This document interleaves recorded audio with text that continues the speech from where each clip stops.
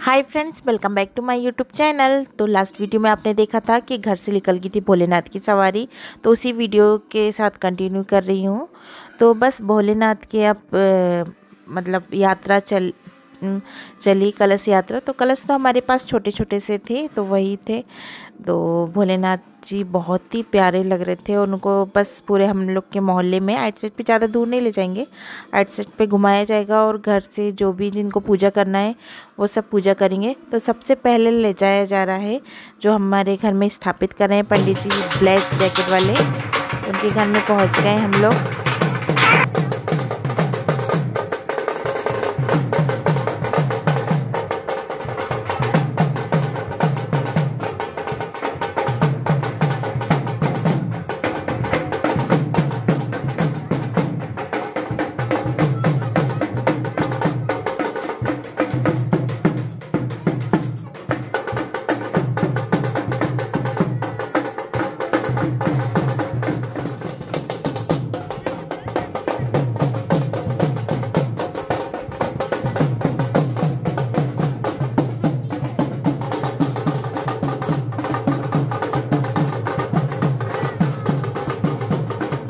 अभी तो ऐसे हो जा।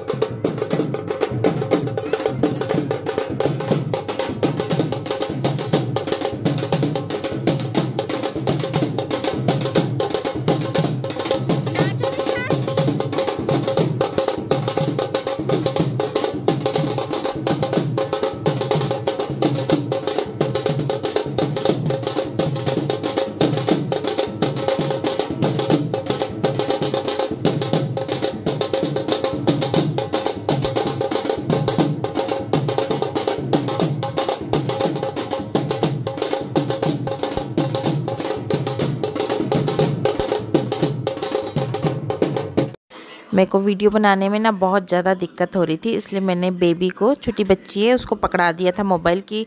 आपको जैसे बनाना है, वीडियो बनाना है तो वो घूम के कैसे मतलब अपने हिसाब से वीडियो बना रही थी। तो मैंने बोला, चलो ठीक है, वीडियो बनना चाहिए, किसी की इतनी अच्छी भोलेनाथ की मतलब कलश यात्रा निकली तो वीडियो आना चाहिए।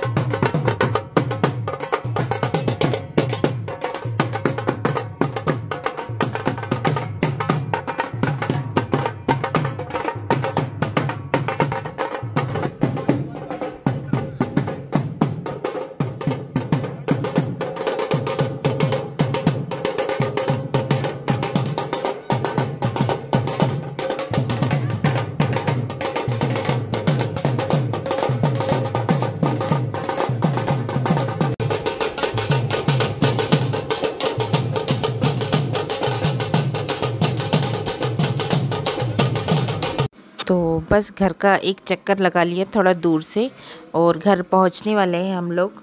तो घर पहुँचने वाले तो हमने सोचा कि थोड़ा सा डांस हो जाए, भोलेनाथ जी की कलश यात्रा में थोड़ा डांस तो होना चाहिए।